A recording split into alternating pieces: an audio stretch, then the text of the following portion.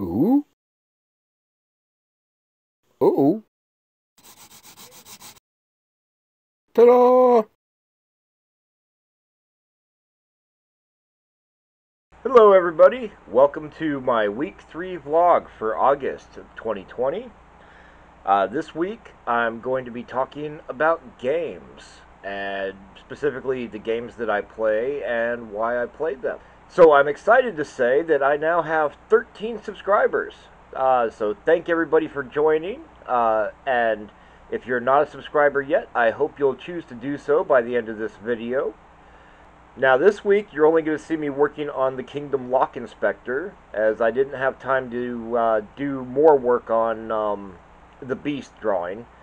Uh, but I'm very close to finishing the Kingdom Lock Inspector, and I would have had it done this weekend, but things got a little too busy. Uh, so I ended up trading in my old car and got a new one on Saturday, and then today I was reminded about how large a large margarita at the Mexican place is. So, uh, you know, had to take a little nap after I got home, and now I'm doing the video. Both of the uh, pictures that I'm working on, uh, the Kingdom Lock Inspector and the Beast, are going to be painted when they're finished. So the types of games that I like to play are what they call pen and paper games, um, such as Dungeons and Dragons or any other pen and paper role-playing game. Video games.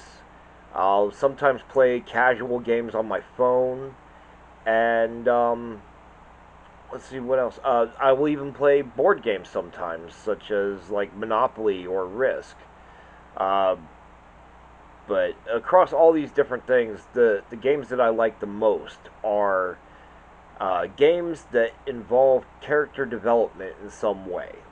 Now, even in each of these game formats, whether it be a board game or a pen and paper game or a PC game, um, there are a variety of genres that are available in each of those. Uh, like, for instance, um, with board games, I mean, they're all board games, but you've got a whole slew of things. Like you've got your, your uh, like Monopoly, where you've got the goal of collecting the money and uh, bankrupting the other players, or uh, like Risk, where the goal is to destroy the, uh, well, maybe not destroy, but uh, take over the world by destroying your opponent's armies, or even like say chess, where you know you capture the the uh, your opponent's king but you know, every uh, format of game has a has a multitude of genres. So when we get into video games, you've got shooters, you've got action games, puzzle games, uh, role playing games, um, and, and then there's the casual games, which are games that are not really meant to be played uh, like with a full story they're kind of like um, just things to kill some time with. Games like Farmville, Candy Crush, those kinds of things. Those are casual games. Now, most often, like I said, I'll play either a pen and paper role playing game or I will play a PC game that is either pen and paper or sandbox or survival. Something that has something to do with either character development or uh, like player creativity so, like in a sandbox or a survival game, there's usually like resource collecting and crafting. I enjoy uh, character creation and seeing how my character develops throughout the game or how the story itself uh, develops based on what my character chooses to do or what I choose to make the character do.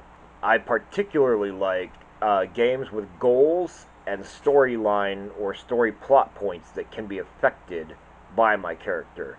So if I have a choice between two options in the story, I like games the most where those two options actually make a difference uh, in the in the gameplay, and that they make an intelligible difference. So, like if you say choose to not save the character in like the beginning town that character will never be in the game again because you never went and saved them. You know, little things like that. Those are those are really big uh, big points to me in uh, role playing games or story driven games.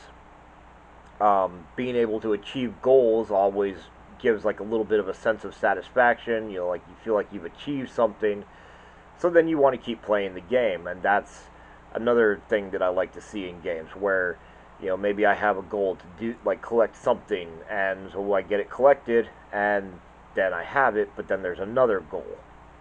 Um, now, a lot of the survival sandbox games like Minecraft and Seven Days to Die, and let's see what else is there, Ark, um, they don't really give you goals. It's more as you play through and you collect things, you learn the recipes to make stuff, and the more stuff you learn, the bigger of a base you can make for yourself. For the most part, I do prefer a game that has an ending, uh, where you know you you defeat the ultimate bad guy or whatever. The the you have conflict resolution at the end of your game. That's one of the most important things to me in a game.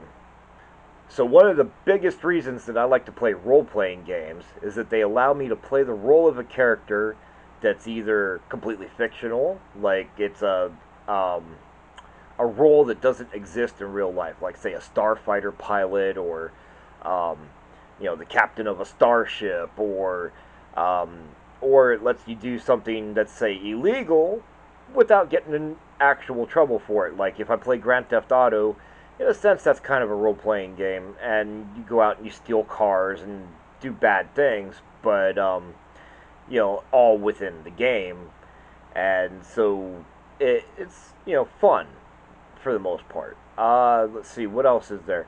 Um, with Dungeons and Dragons specifically, you're usually creating like a medieval fantasy type character that's a character completely unlike what you have in real life, and you're filling a role within your team or your adventuring party and you're fighting monsters or solving problems, you know, whatever it is that you do in your game, which is uh, it, it, depends a lot on whether you're playing a module or some uh, content made up by a dungeon master or a game master, and that content can be any number of things. It can be like pretty much just straight drama, like a uh, like a soap opera or it could be an action type game, or I mean, pretty much anything. It could be a puzzle solving game. It all depends on like what the players want to do and what the uh, game master is running for them. Now, when I'm playing games, sometimes I get inspired by them, or I'll want to express the experiences that I've had in a game through art. Uh, one example of this is when I did my No Man's Sky painting. Uh, I believe that was last year. Uh, it's a watercolor painting of like an astronaut on an alien world with other planets in the skies. Then another piece that I did based on a game, The Kingdom Lock Inspector, which is based on Dungeons and Dragons, uh, where I was playing a rogue character. He's a halfling rogue, so he's kind of like the Hobbit from um, the Lord of the Rings uh, stories. So those are the main reasons that I enjoy playing uh, video games or games in general is for inspiration, just entertainment. Um, when I enjoy playing, say, like a role playing game or a, uh, uh, oh, what do you call it, like a survival game, it's either for the character development or the story interaction or for the uh, sense of uh, kind of like creativity where I create my own base or my own little thing.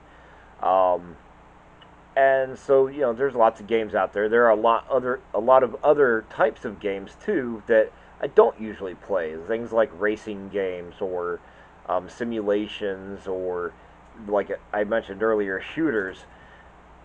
I don't really have a lot of interest in those games, but you know they're fun for other people. So I want to give a shout out to all of my patrons. Uh, their support helps to keep my art supplies in stock and helps me to get new things sometimes. Um, so my, my current patrons are Carolyn Martine Ramirez, uh, Bob and Debbie Zavara, and Kathy Haney. And I really appreciate you guys. Thank you for supporting me. To give a shout out to my wife Rita, who uh, takes care of the stuff around the house and gives me time to create the art and uh, make videos. I would love to have you become a patron as well.